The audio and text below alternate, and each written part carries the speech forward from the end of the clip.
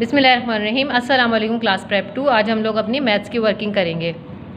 Open your book page number eight page number eight पे सबसे पहले यहाँ डेट मेंशन करिएगा और यहाँ लिखेंगे सी डॉट डब्ल्यू उसके बाद हमने देखने हैं हमारे पास आइकन्स कितने हैं। One two red colour red and colour हमने रीड करना है और कलर करना है इस पर ठीक है? अब हम अपना फ़र्स्ट आइकन करेंगे रीड हमने रीड क्या करना है? देख हमने रीड करना है। ये देखिए क्या लिखा हुआ यहाँ पर। स्लेंडर। क्या है? स्लेंडर। स्लेंडर, ये हमारे पास स्लेंडर शेप है। देखें, आप लोगों के पास घर में भी बहुत सारी ऐसी चीज़ें मौजूद होंगी ना, जिसकी शेप स्लेंडर होगी।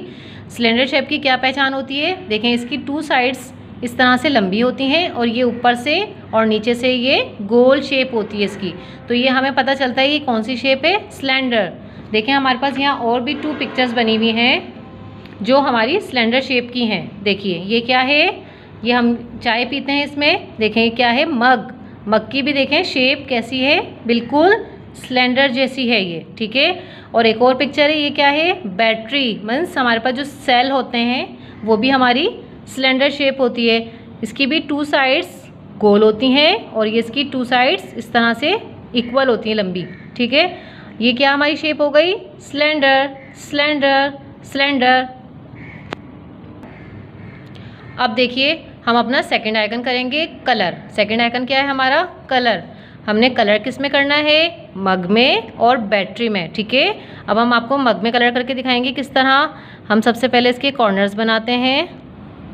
इस तरह से हमने कॉर्नर्स बनाए, ठीक है? आप पूरी पिक्चर किस तरह से कॉर्नर बनाइएगा और फिर अप एंड डाउन इस तरह से हम कलर करेंगे, बिल्कुल नीट एंड क्लीन इस तरह से आप पूरी पिक्चर में कलर कीजिएगा। ठीक है, मैं आपको थोड़ा सा कलर करके दिखा रही हूँ, लेकिन आपने पूरी पिक्चर में कलर कर रहे हैं।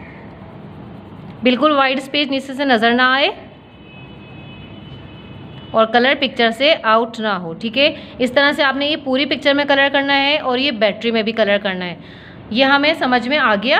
अब हम इसकी सिलेंडर शेप की सिलेंडर शेप की हम आपको रियल ऑब्जेक्ट्स दिखाएँगे।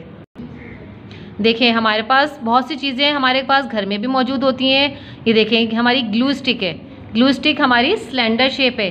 देखें सिलेंडर इस तरह से बना हुआ था ना, ऊपर की साइड्स हमारी गोल थी, दोनों साइड्स और ये हमारी लंबी साइड्स थी, ठीक है? ये क्या शेप हो गई हमारी?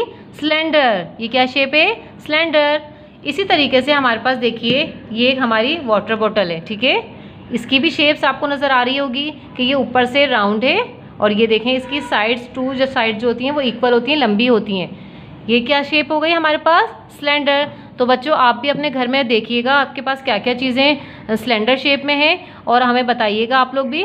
और इस शेप को अच्छी तरह से पहचान लीजिएगा, और अपना काम जो है आप बुक का अच्छे तरीके से कीजिएगा। नेक्स्ट वीडियो में हम हाजिर होते हैं। अल्लाह हाफिज़।